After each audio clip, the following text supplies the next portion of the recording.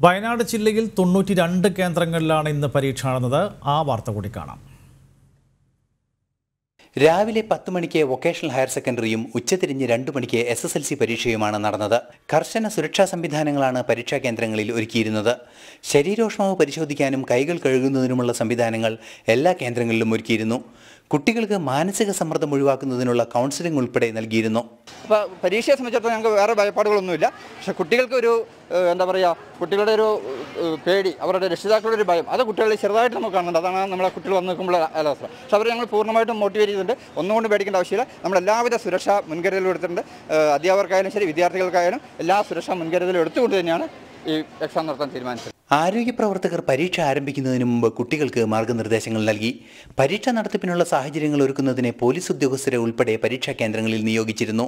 കേട്ടുകേൾവിയില്ലാത്ത സാഹചര്യങ്ങളുടെ ആകാംക്ഷ കുട്ടികളിൽ ഉണ്ടായിരുന്നുവെങ്കിലും ആത്മവിശ്വാസത്തോടെയാണ് അവർ പരീക്ഷയെ നേരിട്ടത്. പരീക്ഷേന്റെ ഒരു എങ്ങനെ നടത്തുന്നുള്ളൊരു കൈ അന്വേഷിച്ചിട്ട് വാഷ് കഴുകി പിന്നെ അകലം പാലിച്ചൊക്കെ നിന്നത്. എസ് എസ് എൽ സിക്ക് കണക്ക് പരീക്ഷയും ഹയർ സെക്കൻഡറിക്ക് എന്റർപ്രണർഷിപ്പ് ഡെവലപ്മെന്റ് പേപ്പറുമാണ് ഇന്ന് നടന്നത്. ജനം വയനാട്.